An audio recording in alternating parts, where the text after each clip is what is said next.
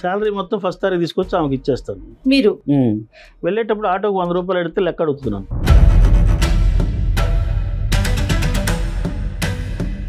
నేను ఆఫీస్కి వెళ్ళే లోపు తను బయటకు వెళ్ళిపోతుంది. పాప కూడా ఒక ఎన్నోసార్లు వేరే అపార్ట్మెంట్కి ఫ్లాట్కి వెళ్ళి వెతకడం అసలు ఎక్కడుందో తెలియదు. ఫోర్ ఇంట్లో పెట్టి వెళ్తుంది.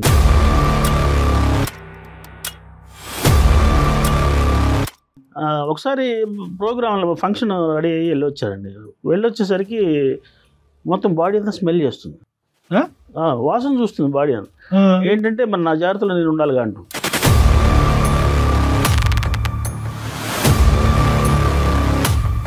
ఏ ఫిజికల్ అట్రాక్షన్ కూడా లేదండి ఇద్దరి మధ్యలో. అడిగితే తన అంటుంది నా అందం పాడైపోతుంది.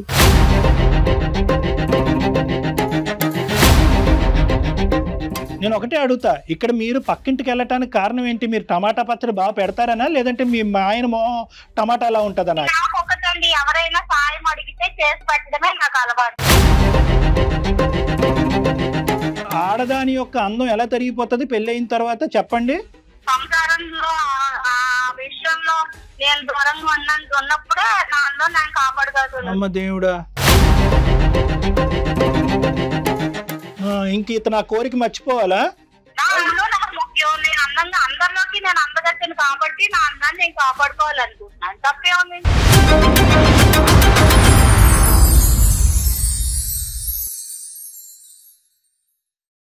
అత్యాధునికమైన టెక్నాలజీతో ఫెర్టిలిటీ ట్రీట్మెంట్ అందిస్తోంది మెడిసి ఐవీఎఫ్. మెడిసి హాస్పిటల్ సమర్పించు అందమైన జీవితం కార్యక్రమానికి స్వాగతం. నమస్తే కళ్యాణ్ గారు. గారు నాగరాజు గారండి. వైఫ్ అండ్ హస్బెండ్ మధ్య ఇష్యూ వచ్చారా ఆ, Direct గా? వచ్చారండి. డైరెక్ట్గా మాట్లాడటానికి రెడీగా కూడా ఉన్నారు. So invite చేసేద్దామండి. నాగరాజు గారు.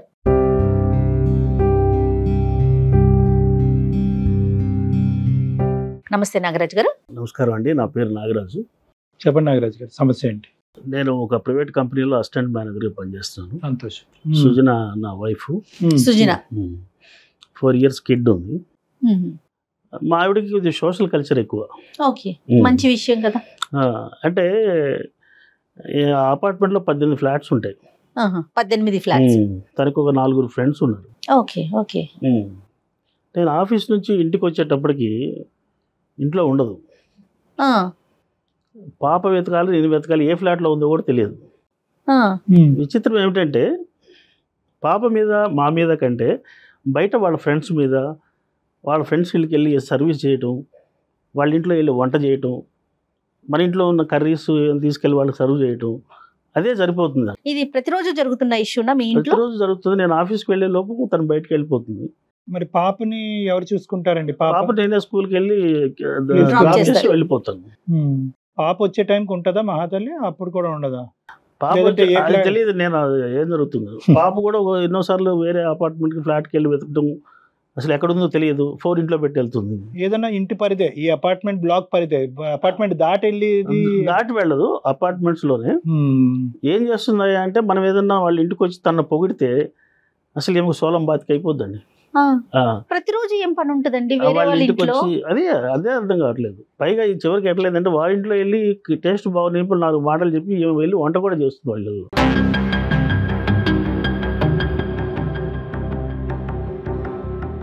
శాలరీ మొత్తం ఫస్ట్ తారీఖు తీసుకొచ్చి ఆమెకి ఇచ్చేస్తాను. మీరు. వెళ్ళేటప్పుడు ఆటోకి వంద రూపాయలు అడిగితే లెక్క అడుగుతున్నాను.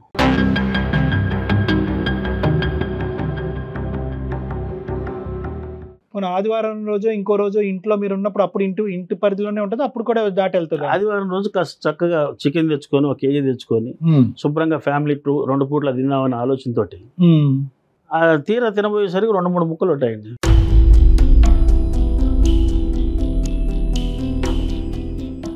ఏంటని అడిగితే అవునండి మనకు సొసైటీలో హోదా ఉండాలి. ఇలాంటివన్నీ చేసేటప్పుడు భర్త ఎందుకు నీకు ఫ్యామిలీ ఎందుకు ఎక్కడో ఏ పొలిటీషియన్ ఏ ఒక కార్పొరేటర్ ఏ వార్డు మెంబర్ అయితే బాగుంటుంది లేదా ఉమెన్ ఎంపవర్మెంట్ మహిళా సంఘం ఇలాంటివి చేసుకోవచ్చు కదా. నేను ఎంతో ఎక్స్పెక్ట్ చేసి మంచి ఫ్యామిలీ అని చెప్పి చేసుకున్నాను. చేసుకున్న పాప పుట్టేదాకా బాగుంది. తర్వాత ఈమె ప్రవర్తనలో ఇలా మార్పు వచ్చింది. మీరేమన్నా నచ్చట్లేదు ఆవిడకి? అంటే మీ మీరు ఇంట్లో టైం స్పెండ్ చేయట్లేదు మీకు తనకు కావాల్సింది ఇవ్వలేక అటువైపు ఏమైనా. డైవర్ట్ అయింది ఆవిడ? అట్లేం లేదండి. మనిషి చూస్తే పద్ధతిగానే ఉన్నది. బ్యూటీ. కాన్షియస్ మళ్ళీ. ఏదో చక్కగా చీర కట్టుకొని తయారైందని చెప్పి వెళ్ళి కాస్త టచ్ చేస్తే కిందికి వెళ్ళిపోయి. ఏంటమ్మా అట్లా వెళ్ళిపోయావంటే? ఇవాళ వనభోజనాలకు వెళ్తున్నారు అని చెప్పి ఎస్కేప్ ఇప్పుడు బలహీనత ఏంటి? పొగట్ట కాంప్లిమెంట్స్ ఎవరైనా పొగిడితే తర్వాత బ్యూటీ కాన్షియస్. ఓకే ఈ రెండింటిని దృష్టిలో పెట్టుకొని భర్తని నెగ్లెక్ట్ చేస్తా ఉంది ఫ్యామిలీని నెగ్లెక్ట్ చేసుకుని తనంతటి తానే నెగ్లెక్ట్ అవుతుంది. నా పనులన్నీ నేనే చేసుకోవాలి. ఆ, ఇంట్లో వంట బట్టలు ఐరన్తో సహా నేనే చేసుకోవాలండి. సో మీ ఇంట్లో పనులు మీరు చేస్తారు? ఆవిడ వేరే ఇళ్ళలో పనులు చేస్తారు. అది విచిత్రం వంట అది చేస్తారండి ఆవిడ? వంట చేస్తారు. మార్నింగ్ ఏదో రెడీ చేసి వెళ్ళిపోతుంది. ఏదో. మన వీళ్ళు ఎవరో పని మనిషిని పెట్టుకుంటే వాళ్ళు డ్యూటీ అయిపోతుంది కదా. అన్నం చేసాం కూర చేసాం ఇంకో ఇళ్ళకి వెళ్ళాలి. అదే రకంగా తప్ప ఒక హస్బెండ్ నాకేంటంటే ఇక్కడ ఉన్న భయం ఏంటంటే పాప ఎంత నెగ్లెక్ట్ అయిపోతుంది. ఆ పసి. ప్రాణం బయటకు చెప్పుకోలేకపోతుంది. తల్లి. ఎక్కడ ఉంటుందో తెలియదు ఏ నిమిషం ఏం చేస్తుందో తెలియదు నేను లిటరల్గా చూశాను ఒకసారి. పాప. వెళ్ళి ఒక ఫ్లాట్లో ఉంది నేను ఒక ఫ్లాట్లో వెతుకుతున్నాను. అయ్యయ్యో బా. ఫోన్ తీసి కనీసం ఫోన్ తీసుకెళ్తాను ఫోన్ క్యారీ చేయదు. ఇంట్లో ఉండిపో మాకు డౌట్ ఫోన్ మోగుతుంది ఇంట్లో లేదు ఎక్కడ ఉందో డౌట్ ఇవన్నీ ఒకసారి కూర్చోబెట్టి కూడా అడిగాను వాళ్ళ వాళ్ళ అమ్మ నాన్న పిలిచి చెప్పాను. ఇవన్నీ చిన్న చిన్న విషయాలు అల్లుడు గారు ఇవి కూడా పట్టించుకుంటే ఎట్లా మీరు విషయం చిన్నదైతే అయి ఉండొచ్చు దానివల్ల ఇబ్బంది ఎక్కువగా కనిపిస్తా ఉంది కదా నాగరాజ్ గారు చాలా వెరైటీ. ప్రాబ్లం ఈ ప్రాబ్లం? ఏంటంటే మీకు తప్ప లోకం మాకు కూడా అర్థం కావటం కష్టమే ఏమైనా. సైకలాజికల్ ఇష్యూ అనుకోవాలండి అంటే తప్పుడు ఉద్దేశం లేదని అంటున్నారు కదా. ఆవిడ ఏంటంటే కేవలం సేవా దృక్పథం ఒకటి ఇంకోటి ఏంటంటే పొగట్టుకి ఫ్లాట్ అయిపోతూ ఉంటది. అందం గురించి పొగిడినా సేవా కార్యక్రమాల గురించి పొగిడినా కూడా ఫ్లాట్ అయిపోతూ ఉంటది. అదే ఆవిడకి మళ్ళీ ఎనర్జీ ఇంకా ఎక్కువ చేస్తూ ఉంటది. అంతే కదా మెయిన్గా.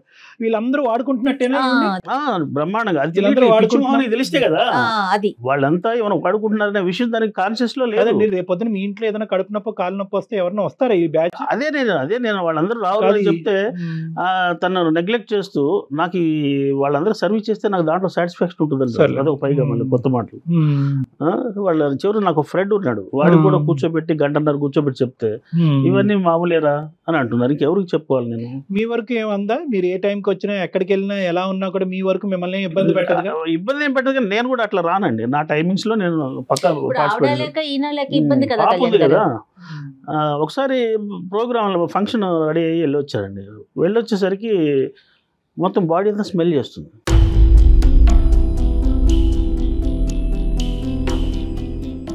వాసన చూస్తుంది బాడీ అంతా.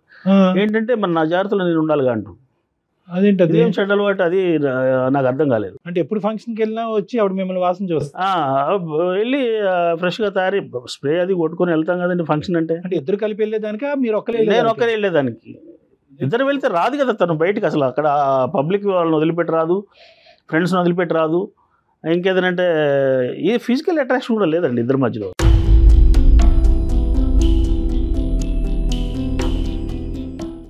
ఇంకా ఏం సమస్యలు ఉన్నాయి నాగరాజు గారు? అసలు మీ ఇద్దరి మధ్యన భార్య భర్తల దాంపత్య జీవితం ఏమైనా ఉందా? లేదు సార్ అదే తను ఎప్పుడైనా దగ్గరికి పిలిచినా రాదండి. ఎందుకు ఏంటి అని ఒకసారి కూర్చోబెట్టి అడిగాను. ఎనర్జీ అంతా బయట అయిపోతే ఇక్కడే ఎనర్జీ కూర్చోబెట్టి అడిగాను. అడిగితే తను అంటుంది నా అందం పాడైపోతుంది.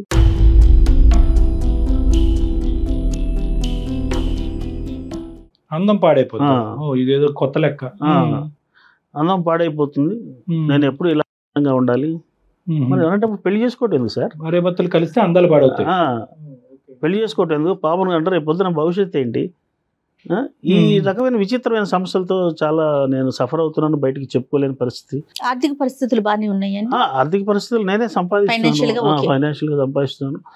మీ ఇల్లు వరకు ఇంటికి వచ్చాక కొద్దిగా నీట్గా ఉంటుందా? లేదంటే చంద్రవందరగా ఉంటుందా? లేదు అది అది నేను నాకు వచ్చే నా డ్యూటీ అది వచ్చిన సెకండ్ హాఫ్ డ్యూటీ అది మీది. నా డ్యూటీ వచ్చి. సర్దుకోవాలి. నా పక్క బట్టలు నేనే పెట్టుకోవాలి. నా బట్టలు నేనే ఐరన్ చేసుకోవాలి. ప్రైవేట్ కంపెనీలో మీ జాబ్ పార్ట్ టైం ఇది ఫుల్ టైం జాబ్ ఏమో. ఇది ఫుల్ టైం జాబ్ అయిపోతుంది అయ్యో రామ. Hmm. అలా కాదు ఈ ఒక్కసారి ఈ యాంగిల్ ఒకటి చెప్పండి. ఈ వాసనలు చూసే యాంగిల్ చెప్పండి. వినటానికి అసహ్యంగా ఉంది. బయటికి వెళ్ళి వస్తే వాసన చూసే ఆడదానికి అంటే మీ మీద అపనమ్మకమా? నా జాగ్రత్తలో నేను ఉండాలంటే? ఆ, అదే ఫీలింగ్ అవునమ్మ ఇప్పుడు నువ్వు నువ్వు దగ్గర రావు నేను బయటికి వెళ్ళేది లేదు. నా పరిస్థితి ఏంటి నేను ఎవరికి చెప్పుకోవాలి? ఇది మల్టిపుల్ టైమ్స్ అయిందా? Multiple times. సో ఇక్కడ బయట బయటికి తీసుకెళ్ళాలని నాకు విచిత్రంగా అనిపిస్తుంది. ఎవరు? ఆవిడ్ని? ఆవిడని. తీసుకెళ్ళాను అక్కడే ఎలా బిహేవ్ చేస్తుందో అని. ఇంట్లో విషయాలు బయటకి ఎవరికైనా ఫ్రెండ్స్కి చెప్పుకుందాం అంటే వాళ్ళు నమ్మేటట్లేరు. ఏ, ఇవన్నీ చిన్న చిన్న విషయాలు వీటి గురించి ఏం ఆలోచిస్తాం అంతే కదా. సరే ఇప్పుడు మా దగ్గరికి ఎందుకు వచ్చారు? ఏం చేద్దాం అంటారు సృజనా గారికి మేము ఏం చెప్పాలి? ఒకప్పుడు మాట్లాడిస్తే మీరు? భర్తగా నాకు ఏ పొందాల్సిన సుఖం ఏమీ లేదు సార్. కనీసం మనిషిని ప్రేమగా చూడటం లేదు. మార్నింగ్ వెళ్ళేటప్పుడు కానీ వచ్చేటప్పుడు వచ్చిన ఫేస్లో కాస్త చిరునవ్వు లేదు. ఇవన్నీ లేకపోవడంతో పైగా ఉల్టా ఏదైనా చిన్న చిన్న విషయాలకి డిస్కషన్ ఎక్కువ ఆర్గ్యుమెంట్ ఎక్కువ. సో ఇవన్నీ చాలా ప్రాబ్లమేటిక్ రోజు రోజు పెరుగుతున్నాయి. నాకు మనశ్శాంతి లేదు ఫస్ట్ సో ఈ ఈ రకమైన ప్రాబ్లం అయితే చాలా టార్చర్ అయితే అనుభవిస్తున్నాను నేను. ఈ విషయంలో మీరు చెప్పి ఏమైనా కన్విన్స్ అంటే ఇప్పుడు ఈ విషయంతో విడిపోవడం అనేది పెద్ద సమస్య కూడా కాదు. అసలు నాకు ఏం అర్థం కావట్లేదు. మరి ఈ క్వాలిటీస్ పెళ్ళైనాక డెఫినెట్గా కుటుంబంతో మారుతారు కదా. కుటుంబం విలువలు తల్లిదండ్రులు నేర్పించాలి కదా సార్. సరే ఒకసారి కలపండి. ఫోన్ ఉందా? మీ మాట్లాడుతుందా? ఒకసారి చెయ్యండి. అంటే హిస్ట్రియానిక్ పర్సనాలిటీస్ అని కొన్ని ఉంటాయి మేడం. అంటే వీ- వీ ఎలా అంటే నార్సిస్టిక్ అండ్ హిస్ట్రియానిక్ పర్సనాలిటీస్. వీళ్ళకి ఏంటంటే పొగడ్తలు అనేది ఒక శక్తి ఎనర్జీ. ఎక్కడ పొగట్టు వస్తాయి కనుక. మరి ఆవిడ కంప్లైంట్లు ఇతను పొగట్లేదు అనేది వస్తుందా? ఇతను ఆ. అప్రిషియేట్ అందాన్ని? మేబీ హలో సుజన ఎక్కడున్నావు? నేనా? పక్కన దేవి గారి ఇంటికి వచ్చాను. చెప్పండి. కాదు ఇప్పుడు అక్కడేం చేస్తున్నావు? నేను ఇక్కడ అందమైన జీవితం ప్రోగ్రామ్కి వచ్చాను. అక్కడ మన డాక్టర్ గారు ఉన్నారు. ఒకసారి వారు మాట్లాడతారట. వెళ్ళాను ప్రాబ్లం ఉంది వెళ్ళాను. సరే ఒకసారి మాట్లాడతారట మాట్లాడు. సృజన గారు నమస్తే అమ్మా. డాక్టర్ కళ్యాణ్ చక్రవర్తి. సార్ నమస్తే చెప్పండి. అంటే మేము ఇలా సడన్గా సర్ప్రైజ్ చేయడంతో మీరు కూడా కొద్దిగా ఇబ్బందిగా ఉన్నారు. ప్లస్ ఏంటంటే వాళ్ళ ఇంట్లో ఏదో డిస్ట్రిబ్యూషన్కి వెళ్ళినట్టున్నారు మీరు. అతను ఏమంటారు అంటే కనుక సార్ నేను ఎప్పుడు వచ్చినా ఆవిడ ఇంట్లో అవైలబిలిటీ ఉండదు. ఇంట్లో ఆవిడ యొక్క అవసరం ఏంటి అనేది ఆవిడ బాధ్యత ఏంటి అనేది ఆవిడకి అర్థం కావట్లేదు. నేను వచ్చినప్పుడు ఉండకపోవటం అనేది పక్కన పెట్టండి. స్కూల్. నుంచి వచ్చేటటువంటి స్కూల్ నుంచి వచ్చే పాప కూడా అమ్మ ఎక్కడ ఉంది అని చెప్పి ప్రతి ఇంటికి వెళ్ళి కాలింగ్ బెల్ కొట్టి మా అమ్మ ఉందా మా అమ్మ ఉందా అనేటటువంటి పరిస్థితిలో ఉంది. ఇటువంటిది ఇదేం కర్మ సార్ నాకు? పోను ఇంట్లో టైం స్పెండ్ చేసేటటువంటి ఆ అమ్మాయి కూడా వేరే పనుల్లో నిమగ్నం బయట ఉండేటటువంటి ఇంపార్టెన్స్ ఇంట్లో ఇవ్వట్లేదు మోరల్ సపోర్ట్ లేదు ఇమోషనల్గా లేదు ఆఖరికి భార్యాభర్తల సంసార జీవితం కూడా మా ఇద్దరి మధ్యన లేదని చెప్పి అతను వాపోతున్నాడు. మరి ఏం చేద్దాం అంటారు అతను చెప్పే అంత స్థాయి ఉందా ఇక్కడ? ఇంకా ఇప్పుడు ఇరుగు ఇంకెంతసేపు ఆరేళ్ళకే రిటైర్ అయిపోతారమ్మా? పాప పుట్టేదాకా సంసారం చేయకుండానే పాప పుట్టేసిందండి నాకు. ఆ, కాదు అమ్మ సంసారం చేయకుండానే పాప పుట్టిందని మేము అదే అది లైఫ్ కాదు కదండి. అదే లైఫ్ కాదు కదా భార్య భర్తలు అంటే ఇంకా అదే పని. అదే లైఫ్ అని నేను ఎక్కడన్నానమ్మా? అది కూడా లైఫ్ అని అంటున్నాను నేను. ఇప్పుడు ఒకటండి ఇంటికి వచ్చేసరికి అంటే ఊరి మీద చిరాకులన్నీ తీసుకొచ్చండి నాకు మొహం మార్చుకుని వస్తారండి. ఆ, మొహం చూస్తేనే నాకు చిరాకు వచ్చేస్తుంది మొహం బాగాలేదు రైట్ ఓకే. నెంబర్ టూ చిరాకులన్నీ నాకు ఇంట్లో చూపిస్తారండి. నాకు ఎలా ఉంటుందంటే ఇప్పుడు ఇరుగు పరుగు ఉన్నాం అనుకోండి నేను ఎక్కడ ఉంటే అక్కడ సంతోషంగా ఇంటికి వస్తే ప్రేమ ఎప్పుడన్నా కాఫీ ఇచ్చావా? నువ్వు వెళ్ళేటప్పుడు ఆఫీస్కి వెళ్ళేటప్పుడు ఏమన్నా నాగరాజు ఆవిడ లిస్ట్ ఆవిడ చెప్పనియండి.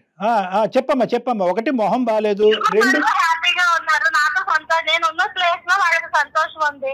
ఇంట్లో ఆయనకు మాత్రమే నేను నా నా దగ్గర సంతోషం లేదు. నన్ను చూస్తేనే నా మీద చూపిస్తారు. ఇంక ఇంట్లో అక్కడ ఎలా ఏంటమ్మా భయంకరంగా ఏం చూపెడతాడమ్మా అతను? ఏం చూపెడతారు? అది కూడా మేము తెలియ తెలుసుకో బయటకి రాకంతా నా మీద చూస్తే మొహం బయట మార్చుకుని చిరాకులన్నీ ఆ మీద కూర్చుంటారండి. చూపిస్తారు. ఇరుగు పొరుగు ఇళ్ళకెళ్ళి వాళ్ళకి కలిసేటప్పుడు ఇవాళ టమాటా వాళ్ళు టమాటాలు వచ్చినాయండి. టమాటా పచ్చి పట్టబట్టి ఆవిడ వచ్చాను. నేను బాగా పడతాను కాబట్టి నన్ను అడిగింది నేను వచ్చాను. తప్పే ఉందండి ఇందులో. ఎదురు ఎదురు వాళ్ళకి చేసుకుంటే తప్ప. అది కూడా ఆయన దృష్టిలో తప్పే. నేను ఒకటే అడుగుతా ఇక్కడ మీరు పక్కింటికి వెళ్ళటానికి కారణం ఏంటి? మీరు టమాటా పచ్చడి బాగా పెడతారనా? లేదంటే మీ మా ఆయన టమాటా అలా ఉంటుందనా? ఎందుకు వెళ్ళారు? మీరు నాకు అర్థం కావట్లే. అంటే ఇక్కడ పరిస్థితులు బాగాలేక అక్కడికి వెళ్ళారా? అక్కడ మీరు బాగా సహాయం అందిస్తున్నారని చెప్పి అలా ఒక నాలుగు మంచి మాటలు అంటాం వల్ల అక్కడికి వెళ్ళారా? దేని గురించి వెళ్ళారు? నాకు ఒకటండి ఎవరైనా సాయం అడిగితే చేసి పెట్టడమే నాకు అలవాటు. ఆవిడ అడిగింది నేను చేసి పెట్టాను. ఇందులో తప్ప ఇది కూడా తప్పేనంటారా? అలాగే తప్పు అనట్లేదు. ఎందుకు? నేను తప్పు ఏదైనా సాయం కావాలంటే ఏ, కాదు కాదు సృజన గారు మీరు మీరు చెప్తూనే పోతున్నారు. మీ మాటకి నేను సమాధానం చెప్పిన తర్వాత మళ్ళీ మీరు మాట్లాడండి. నేను ఏమంటున్నానంటే ఇక్కడ మీ ఇక్కడ ప్రత్యేకంగా కారణం కావాలి. ఇతను ఏంటంటే బయట అక్కడికి ఇక్కడికి వెళ్ళి అతను సాడ్గా బాధగా అతని బాధలన్నీ మీ నెత్తి మీద కక్కుతున్నాడు అనేటటువంటి ఉద్దేశంతో ఇంట్లో ఉండలేకపోతున్నారా? లేదంటే బయట బయట నా ఇంపార్టెన్స్ ఎక్కువ ఉంది బయట నా యొక్క పొగట్టు ఎక్కువ ఉంది వాళ్ళు నా సహాయాలు సహాయ సహకారాలు అక్కడ ఎక్కువ ఉపయోగపడుతున్నాయని వెళ్తున్నారా? ఈ రెండిట్లోకి ఏది అని అడుగుతున్నా? ఎక్కడ సంతోషం ఉంటే అక్కడే ఉంటారండి ఎవరైనా. ఇరుగు పొరుగు అయితే నాకు మనశ్శాంతిగా సంతోషంగా ఉంది. కాబట్టి అక్కడ కూర్చుంటున్నాను. పొద్దు నుంచి సాయంత్రం దాకా ఏం ఉండదండి వాళ్ళకి. పొద్దున్న అన్ని వండి పెట్టి ఆయన ఆఫీస్కి వెళ్ళిన తర్వాతే నేను ఇరుగు పొరుగు దగ్గర కూర్చుంటా.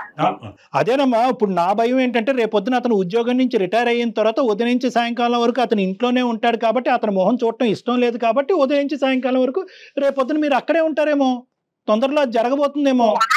ఎప్పుడు రిటైర్మెంట్ అండి ఎప్పుడు రిటైర్మెంట్ గురించి ఎప్పుడు అడుగుతున్నారండి మీరు? కాదు ఇప్పుడు రిటైర్మెంటే కాదనుకో ఇప్పుడున్నటువంటి పరిస్థితిలో అతను ఏం చేయగలిగితే అతను ఎలా ఉండగలిగితే మీరు ఇంట్లో ఉంటారు? ఆయన ఇప్పుడు నేను ఎలా సంతోషంగా ఉన్నాను? ఇరుగు ఇప్పుడు ఒక హెల్పింగ్ నేచర్ అనేది మనిషి అన్నాక ఒక హెల్పింగ్ నేచర్ అనేది మనిషికి ఉండాలి. అది ఆయన దగ్గర లేదు. ఆయన చెయ్యరు ఎదుటి వాళ్ళు చేస్తే వారం లేదు. అతను ఏమంటున్నాడంటేనమ్మా నిన్నేమి హెల్ప్ చేయొద్దు అని ఏం అనట్లేదు. నా అవసరాలు ఏంటి అని అంటున్నాడు. అతను భార్యాభర్తల సంబంధం అవనియండి లేదంటే మీ ఇంట్లో పనులు అవనియండి. మీ ఇంట్లో పనులన్నీ కూడా సవ్యంగా సాఫీగా ఎటువంటి ఇబ్బంది లేకుండా అయిపోతాయి సుజన గారు? లేదంటే ఇతను కూడా అతను దాంట్లో హెల్ప్ చేస్తాడా? ఒకసారి పెళ్ళి అనేది చేసేది ఏంటంటే వంశాభివృద్ధి కోసం. ఆ వంశాభివృద్ధి నా కూతురు పుట్టింది? కూతురు పుట్టిన తర్వాత. ఏదో నా పూజలు నా పునస్కారాలు నా ఈ- నా హెల్ప్ నాకు ప్రజా సేవలు ఇవి నాకు ఇష్టం. ఇంటి సేవ లేదు కానీ. టైంకి వచ్చినా నేను కాదన్ను. ఆయనకి ఇచ్చే ఫ్రీడమ్ నేను ఇచ్చాను. నాకు ఇచ్చే ఫ్రీడమ్ని ఆయన నాకు ఇమ్మనండి. ఏ రోజైనా ఆఫీస్కి వెళ్ళాక నేను ఫోన్ చేసి మీరు ఏం చేస్తున్నారని నేను అడిగానా? నన్ను ఎందుకు అబ్జెక్షన్ పెడతారు? ఆడవాళ్ళకి ఎంత ఫ్రీడమ్ కావాలి అనేది మీకు ఇప్పుడు బోల్డ్ మీరే చెప్తున్నారు కదండి. మగవాళ్ళకి ఎంత ఫ్రీడమ్ ఉందో ఆడవాళ్ళకి కూడా అంత మరి ఇంత freedom అమ్మా? ఫ్రీడమ్ అంటే అది కాదు. ఇప్పుడు ఇంకొక అంశం చెప్పండి. ఈ ఒక్క అంశం పక్కన పెట్టండి. మీకు విపరీతమైన సరే మీ అందం మీ ఇష్టం మేమెవరు మాట్లాడటాను కానీ మీ అందం అందచందాల మీద మీరు చూపెట్టేటటువంటి ఇంట్రెస్ట్ అయ్యో నేను ఇంకా కంప్లీట్ చేయలేదు తల్లి. నా ఓపెనింగ్ స్టేట్మెంట్ అది. మీ అందం మీ ఇష్టం. ఆ, ఈర్చపట్టం తప్ప అతని జీవితంలో ఇంకేం లేనట్టుంది అక్కడ. మీ అందం చూసి ఈర్చపట్టం ఒకటే అతను పెళ్ళి చేసుకున్న చేసే ప్రధానమైన కార్యక్రమం. మీరేమో వచ్చి అందచందాలని ఇది చేస్తూ ఎదురింటోళ్ళకి పక్కింటోళ్ళకి చూపెడుతున్నారు కానీ భర్తకు కావాల్సినటువంటి సుఖం అర్థం కాక అతను పరో పరిగెట్టుకుని ఇక్కడికి వచ్చి కూర్చున్నాడు. మీరేమో వచ్చి ప్రజాసేవ చేస్తే తప్పేంటంటే డాక్టర్గా మీరు ప్రజాసేవ చేయమనాలి కదా అని అంటే కనుక ఏంటమ్మా ప్రజాసేవ చేసి? ఇంట సేవ చేసి ప్రజాసేవ చేయమ్మా సరే ఇప్పుడు ఈ అందం గురించి ఏంటి సబ్జెక్టు? ఈర్ష అంటారా? అప్పుడండి ఆ ఒక్క విషయంలో ఇప్పుడు అది పెద్ద విషయం కాదండి. భార్యగా ఆయన చేయాల్సినవన్నీ నేను చేస్తున్నా. దాని వల్ల అందం తరిగిపోద్దండి. అది నా నా అందాన్ని నేను కాపాడుకోవడం కూడా నాకు ముఖ్యమే కదా.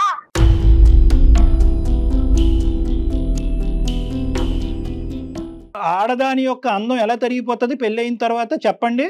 సంసారంలో ఆ విషయంలో నేను దూరంగా ఉన్న ఉన్నప్పుడే నా అందం నేను కాపాడుకోగలను అమ్మ దేవుడా అవునా? ఈ సబ్జెక్ట్ నాకు తెలియదమ్మా అనవసరంగా నాకు ఈ సబ్జెక్ట్ తెలియక చాలా మంది ఆడవాళ్ళని అటువే ప్రోత్సహించేస్తున్నాను నేను.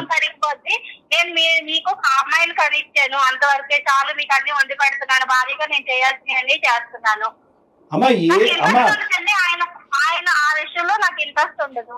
అమ్మా మిగతా నా అందాన్ని నేను తగ్గించుకోవడం నాకు ఇష్టం లేదు. సృజన గారు మిగతా చెప్పినటువంటి సబ్జెక్ట్లో కొంతవరకు వ్యాలిడిటీ ఉన్నా కూడా ఇప్పుడు ఒక విచిత్రమైన సబ్జెక్ట్ చెప్పారు. నా కళ్ళు బయర్లు గమ్ముతున్నాయి. ఏంటది? ఆడది మగవాడితో కలిస్తే భార్యాభర్తల సంసారం జీవితం చేస్తే అందచందాలు తరిగిపోతాయా? ఎవరు చెప్పారమ్మా ఈ కాన్సెప్ట్ ఎవరాళ్ళు? చెప్పారు ఇంకెవరో నలుగురు ఫ్రెండ్స్ ఉన్నారు కదా. ఆ నలుగురు ఫ్రెండ్స్లో చెప్పి ఉంటారు నెక్స్ట్ వాళ్ళని ఇక్కడ కూర్చోపెట్టాలి. ఆ ఫ్రెండ్స్లో ఒక ఫ్రెండ్స్లో వాళ్ళు ఒక ఆవిడ డాక్టర్ గారు కూడా ఉందండి. ఓ అబ్బో. సరే అమ్మా ఇప్పుడు కాదు ఇంక ఇంతేనా ఇతని పని? ఇతని పని ఇంక ఇంతేనా జీవితంలో? ఇది ఎందుకంటే చాలా ముఖ్యమైనటువంటి అంశం. కదండి అన్ని పెడుతున్నాను అందరిలోని అందరిలోని నేనంటే చాలా రెస్పెక్ట్ అండి. నాకు చాలా గౌరవం ఇస్తారు నేనంటే చాలా ఇష్టపడతారు. నేను ఉన్న చోట సంతోషంగా ఉంది నేను నేను వెళ్ళేసరికి ఇప్పుడు దాకా బోర్ కొట్టింది. నువ్వు రాగానే చాలా హ్యాపీనెస్ నువ్వు ఉన్న చోట సంతోషం ఉంటుందని మాత్రమే నేనుంటే సంతోషంగా అమ్మ కామెడీ తీసి పక్కన పెడదాం. ఒక్కటి సీరియస్గా మాట్లాడతాను నేను. ఎంతమంది నువ్వు ఈ సేవా కార్యక్రమాలు చేసేటటువంటి ఈ గుంపు అంతట్లో ఎంతమంది మీ ఇంటి వరకు వచ్చి మీకు హెల్ప్ చేస్తున్నారు?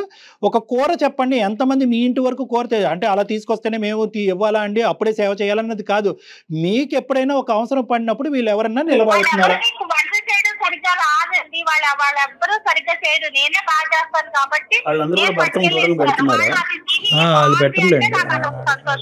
అలా కదమ్మా అతను నాగరాజు గారు పెట్టుకునే స్తోమతను నాకు ఇచ్చాడు వాళ్ళ సంసార మనకి ఎందుకండి మన మరి మన సంసారం కావాలి. మనకు కావాలి కదా?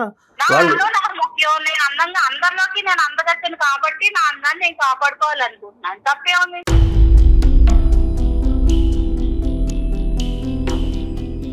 ఇంకా మీకు వండి పెట్టడం మీ ఇంట్లో కూర్చోవడం మీతోనే ఉండడం మీకు టైం అందివ్వడం ఇదే నా భార్య ఏమో నీవు. అసలు? పిల్ల పుట్టేంత వరకు నీ దగ్గరకు వస్తాను. ఒక పిల్ల జల్లో పుట్టిన తర్వాత నా అందాన్ని కాపాడుకునే కార్యక్రమంలో నీ దగ్గర నుంచి దూరంగా ఉంటానని చెప్పుంటే ఆ మహానుభావుడు పెళ్ళి చేసుకుని ఉండేవాడు కాదు. ఇది పెళ్ళి తెలిసి పెళ్ళి అప్పుడు తెలీదా? అమ్మో. నాకు తెలియదు ఇంక ఇతను ఆ కోరిక మర్చిపోవాలా? అలానే నేను ప్రతిరోజు అలాగే లేను కదండి. ఎప్పుడు ఆరు నెలలకు ఎనిమిది నెలలకు సంవత్సరం ఎందుకమ్మా మరీ అంత frequent గా?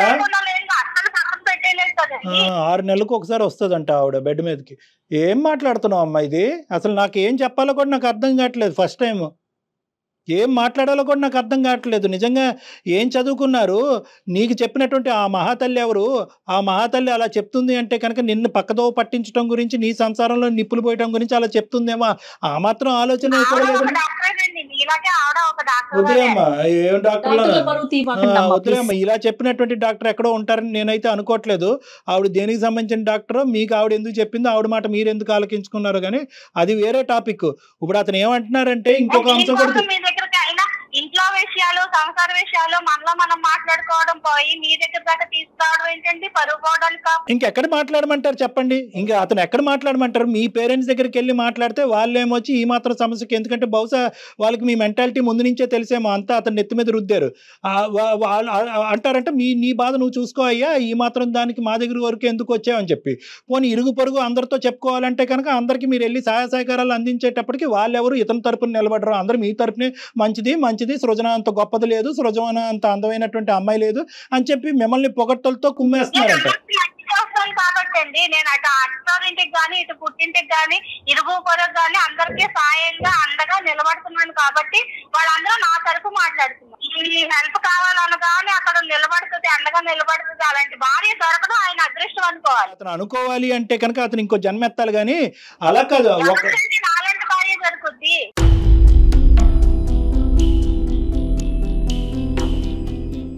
ఇప్పుడు ముందు భర్త కూతురు యొక్క పరిస్థితి ఏంటి? అదొక్కటి నాకు చెప్పండి. వాళ్ళిద్దరు హ్యాపీగా లేరు. ఆయన ఆయనకి ఇంట్లోనే హ్యాపీగా ఉండదు నన్ను చూస్తేనే సంతోషంగా ఉండదు ఆయనకి. సంతోషంగా ఉంటే ఇప్పుడు మేమిద్దరం మాట్లాడుకో నాకే చెప్తారు కదా మీ దాకా ఎందుకు వస్తారు? అందరికీ నచ్చింది కానీ ఆయనకి మాత్రం ఎందుకు నచ్చట్లేదు చెప్తే కదా. నువ్వు అన్నావు నా అందం తగ్గి తరిగిపోతుంది అన్నావు కదా చెప్తేనే కదా నువ్వు అన్నది. నా బ్యూటీ తగ్గిపోతుంది అందం తగ్గిపోతుందని నువ్వు అనబట్టే కదా కూర్చోబెట్టి ఎన్నిసార్లు చెప్పలేదు నీతోటి? సినిమాల్లో చేయమని ఎవరు చెప్పలేదా? మరి మీరు చాలా అందంగా ఉంటారంట కదా. నేను చాలా అందంగా ఉంటానని ఇప్పుడు మీకు చెప్తున్నారు ఆయన.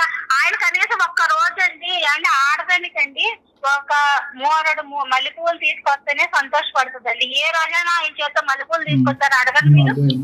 ఏ రోజు ఏ టైంకి వచ్చినా నేను అడగలేదండి ఒక ఫస్ట్ పాయింట్ రెండు ఆయనకి ఏది నచ్చితే అదే నేను కట్టుకున్నాను తప్ప నాకు ఇది నచ్చింది అంటే ఆయన ఎక్కడ ఫీల్ అవుతారో ఆయన బాధపడడం ఇష్టం లేక నేను అది అడగలేదు.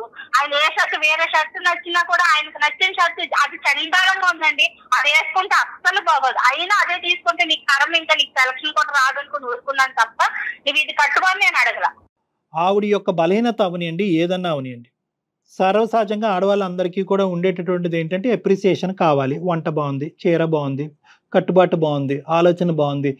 ఇది ఎప్పుడైనా వచ్చిందా? ఈ యాంగిల్ ఎప్పుడైనా మీరు ఈ విధంగా మీ భార్యని ఎప్రిషియేట్ చేయాలనే ఆలోచన మీకు అది ఇక్కడ దొరకపోవటం వల్లే ఆవిడ అందరి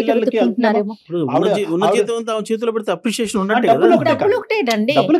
కానీ ఇదంతా కూడా ఎక్కడ స్టార్ట్ అయింది అంటే కనుక ఆవిడ ఆవిడ వీక్నెస్ని అందరూ క్యాష్ చేసుకుంటున్నారు. ఆవిడ వీక్నెస్ ఇది అన్నది మీకు అర్థం కావట్లేదు. ఆవిడ వీక్నెస్ ఏంటంటే బహుశా ఒక చిన్న పొగట్ట. ఈ కూర బాగుంది ఈ వంట బాగుంది ఈ చీర రోజు బాగుంది. రోజు మనం పొగట్టం అనేది కాదండి. పొగట్టం పొగట్టం అనేది పెదాల దగ్గర నుంచి వచ్చే కాదండి. మనసులోంచి వచ్చేటటువంటి అంశం. ఆవిడ ఇప్పుడు వరకు అన్ని ఇన్వాలిడ్ పాయింట్స్ చెప్పిన లాస్ట్ టూ మినిట్స్ బ్యాక్ ఆవిడ చెప్పినటువంటి పాయింట్ చాలా. వ్యాలిడ్ పాయింట్ ఉంది. నాకు ఎప్రిసియేషన్ కావాలి. అతను ఎప్పుడు చూసినా కూడా వర్క్ వర్క్ వర్క్ అని చెప్పి బయటికి వెళ్ళి ఆ వర్క్ అంతా అతను నెత్తి మీదకి వచ్చి ని- నెత్తి మీద వేసుకుని అంతే సరే మగాడంటే అలాగే కష్టపడాలి తప్పదు. కానీ ఆవిడకి ఈ బలహీనత ఉన్నప్పుడు ఏంటంటే కొద్దిగా మీరు ఆ లూప్ అనేటటువంటిది ఓపెన్ చేసి ఆవిడ కావాల్సిన ఆవిడ కాంట్రిబ్యూట్ చేస్తే బహుశా ఆవిడ ఇది ఎత్తుక్కుంటూ వేరే ఇళ్ళకి వెళ్ళదేమో అనేది నా అభిప్రాయం. నేను చెప్పింది ఇప్పుడు నేను ఒక చీర కట్టుకున్నాను అనుకోండి. కనీసం ఆ రోజు నా మొహం కూడా చూడకూడదు. దాన్ని ఏం ఈ రోజు ఏం చీర కట్టుకున్నానో ఆయన అడగండి చెప్తారేమో? గుర్తుందేమో అడగండి. అది చీర కట్టుకున్నానో చెప్తారు నిన్న కట్టుకుని సూపరైన కనీసం ఒక గుడికి కూడా తీసుకెళ్ళరండి. అంటే నేను అందంగా ఉన్నాను కాబట్టి అక్కడ వాళ్ళందరూ నన్ను అంకు చూసి చేస్తారు కాబట్టి నన్ను బయటికి ఇది భార్యాభర్తలుగా ఎదురు బదురు కూర్చుని ఏమండి నాకు మీ దగ్గర నుంచి రావాల్సినట్టు మీరు ఎలాగైతే శారీరకపరమైనటువంటి సంతోషాన్ని కోరుకుంటున్నారో అదే ఒక భార్యగా నాకు ఒక స్థానం అనేటటువంటిది ఇంట్లో ఉండాలి అనే కోరికతో నేను ఉన్నాను. నా దగ్గర నుంచి ఈ పొగట్ట ఈ ఎప్రిసియేషన్ ఈ ఈ అనుభవం నాకు కావాలి అనేది మీరు చెప్తే ఎందుకు ఇవ్వడం మాత్రం తప్పకుండా. అంటే ఏ భార్య అన్నా నన్ను పొగుడు లేకపోతే నా- నాకేమో ఇది చెయ్యి- అని భార్య అడిగితే చేసేదాన్ని? బేసికలీ ఏంటంటే అతను ఇంటి వర్క్ వెళ్ళటం వర్క్ నుంచి ఇంటికి రావటం తప్ప ఆ మహానుభావుడికి ఇంకేమీ తెలియదు అలా తెలియనప్పుడు ఏంటంటే ఏమీ ఏమండి మరి ఇది తెలిసిందా? ఇంట్లో విషయాలన్నీ అదేనమ్మా మీరిద్దరు కూర్చొని మాట్లాడుకుంటే మా వరకు తీసుకురావాల్సినటువంటి అవసరం లేదమ్మా. కాదమ్మా నేను ఇప్పుడు ఇందులో ఏంటంటే కొన్ని చాలా వాస్తవాలకి సైన్స్కి చాలా దూరమైనటువంటి అపోహలు అంశాలు ఉన్నాయి. అవి పబ్లిక్ ప్లాట్ఫామ్ మీద మాట్లాడుకోవడానికి మీకు నచ్చదు అతనికి బాగుండదు నాకు నచ్చదు. అవి తరు విడిగా మనం కౌన్సిలింగ్ అనేటటువంటి ప్రక్రియలో కూర్చొని మాట్లాడుకుందాం. అది మేజర్గా ఏంటంటే భార్యాభర్తలకు సంబంధించింది. ఇక్కడ ఒక అంశం ఏంటంటేనమ్మా నేను కూడా ఆయనలో ఉన్న లోటుపాట్లన్నీ మీ దగ్గర చెప్పాల్సినవి ఉన్నాయండి. తప్పకుండా, తప్పకుండా. చెప్తాను. దాన్ని బట్టి మీరు ఆయన అదే ఓకే. కానీ మీరు అలా డైవర్ట్ అవటానికి ప్రధానమైనటువంటి కారణం ఏంటంటే మొగుడుగా ఉండేటటువంటి ఇతను నాకు ఇచ్చేటటువంటి ఇంపార్టెన్స్ డబ్బుల పరంగా ఇస్తున్నాడు లేండి ఏంటంటే ఒక ఆడదాని యొక్క బలీనత తెలుసుకుని ఆ అందచందాలని పొగట్టమో లేదంటే ఈ బాగున్నాయి అనేటటువంటి మాట అంటమో ఈ విధంగా ఉంటే కనుక నేను ప్రోత్సహించబడతానండి. దాన్ని బట్టి నేను ఇంట్లోనే ఎక్కువ టైం స్పెండ్ చేసి ఉండేదాన్ని అనేది మీ వాదన. దాని గురించి అతనితో కూడా మనం మాట్లాడదాం. ఎందుకంటే అతనికి చాలా వరకు తెలియనితనం అనేది ఉంది. ఇక్కడ వరకు వచ్చారు అంటే కనుక మీ ఇంట్లో ఆ డిస్కషన్ జరిగి మీరు అక్కడే తేల్చుకుని ఉంటే కనుక ఇక్కడ వరకు రాలు. మీ ఇద్దరు మీ ఇద్దరు కూర్చుని మాట్లాడుకోవటానికి టైమే ఉండట్లేదు. ఎందుకంటే ఏ ఇంట్లో మీరు ఉంటున్నారనేది అతనికి తెలియట్లేదు. ఎత్తుక్కుని వచ్చేటప్పటికే అలసిపోతున్నారు అందరూ పడుకుంటున్నారు. సో అతను చెప్పేటటువంటి వర్జన్ బట్టి ఏంటంటే మీ ఇద్దరి మధ్యన ఇన్ని ఆరు సంవత్సరాల్లో మీ ఇద్దరి మధ్య ఉండేటటువంటి ప్రాబ్లమ్స్ ఏంటి అనేది మీరు డిస్కస్ చేసుకోవాలి ఇది ఒకటి. అతని సైడ్ నుంచి ఉండేటటువంటి కొన్ని అంశాలనమ్మా ఖచ్చితంగా ఒక్కసారి ఇమోషనల్ ఫీల్ అవ్వకుండా ఈ వేదిక వరకు అతను ఎందుకు తీసుకొచ్చాడనే ఆలోచన లేకుండా ఒక్కసారి మీ మనస్సాక్షి మీద చెయ్యి వేసుకుని ఒక్కసారి ఆలోచించుకోండి. ఈ రోజు నుంచి మీరిద్దరు ఎవరికైనా చుట్టుపక్కల ఇరుగు పొరుగు వాళ్ళకి హెల్ప్ చేయాలనుకుంటే ఇద్దరు కలిసికట్టుగా వెళ్ళి హెల్ప్ చేసుకోండి. మీరు ఎక్కడ ఉంటున్నారో తెలియక అతను ఆలోచించుకుంటూ ఉంటాం. ఏ పది రూపాయలు ఇస్తే కనుక అది ఎలా మాయం అవుతుంది అనేటటువంటి భయంలో ఉండటము ఇది కరెక్ట్ కాదు. దేనికన్నా ఒక హద్దు ఒక లిమిట్ అనేటటువంటిది ఉంటుంది.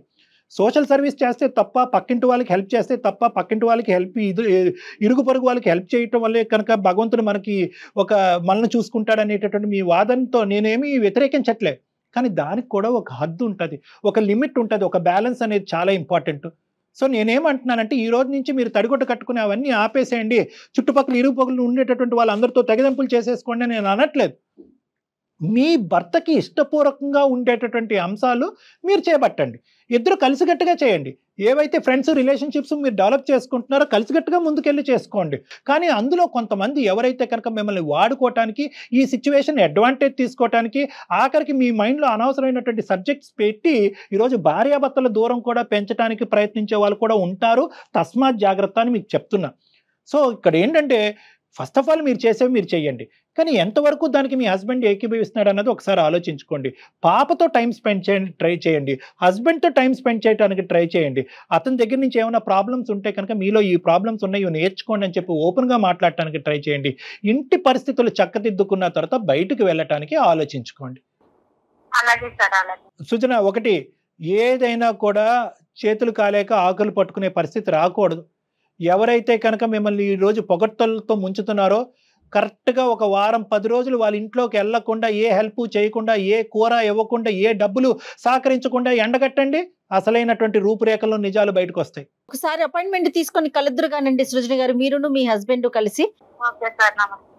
ఓకే అండి. డాక్టర్ గారిని కలిసే లోపు మీరు కూడా ఎలాంటి ఇష్యూస్ చేసుకోమాకండి. వీలైతే ఈ వారంలోనే ఒకటి రెండు రోజుల్లో కలుద్దురు కానీ. కలవండి. ఒకసారి Right అండి? మాట్లాడండి thank you sir right. Thank you నమస్తే.